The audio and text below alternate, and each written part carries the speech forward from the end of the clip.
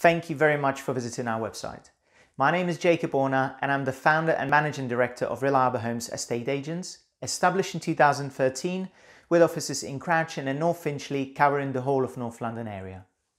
We believe in change and choose a very different approach in how we do business in order to fulfill the needs of all of our customers and to adapt to the ever-changing market.